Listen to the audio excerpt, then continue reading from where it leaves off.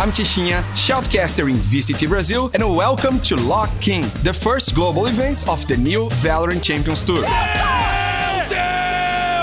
Over the next three weeks, 32 teams will battle through the biggest tournament in Valorant esports history. É muito!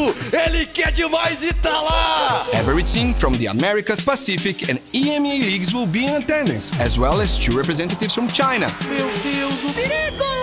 To secure victory, teams will have to battle through a gauntlet of matches where there will be no room for error. The concept is brutally simple a single elimination bracket all the way to the top. Teams will be drawn and placed into two groups that will build each side of the 32 team bracket. Meu Deus! It's best of three up into the final four and best of fives to close out the tournament.